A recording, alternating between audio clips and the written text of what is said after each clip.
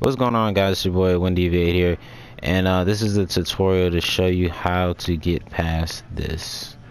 The project clip limit has been reached. This clip cannot be selected.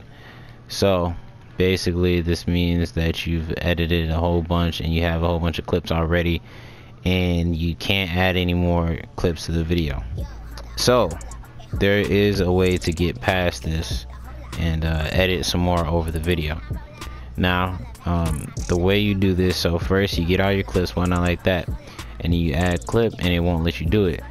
But there is a way to get through it, as I said before. So, how you want to do it is you want to press circle, and then uh, you're gonna want to click save video and exit, right?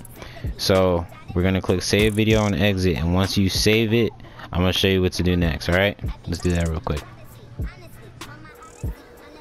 Alright, so now once after you get out of there and you have your video saved, you want to exit and then we're going to go to new project, alright? So basically we go on a new project because we have our video that is saved. So now we just want to find it. And uh, here's the one that we recently just saved. Alright, so now here it is, um, the whole video. And I just use this as an example to show you guys what I mean. So now we have the, the video with with the edits that we made to it and everything like that. So now we have the video with the edits that we made and everything like that. And uh, it's basically like a whole new clip single one singular clip.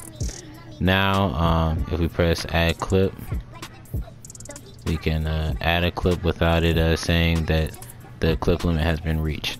So yeah that was just a quick little tutorial for you guys. Hope you guys uh, hope this helps you guys out with editing on share factory but um yeah quick little tip because uh, i noticed people didn't really realize you could do this but uh yeah so i just want to let you guys know that this is WinDeviate. Comment down below if you guys want any more uh, tutorials or any questions that you guys think like that you can't do on Share Factory that you can't do. But uh, just quick run through again. All you gotta do is uh, save the video, save video and exit, new project, and just click on your your complete video that you edited and then just edit right over it. Yep. See you guys. Peace. This is WinDeviate i'm out. Make sure you share this video on all your favorite social media platforms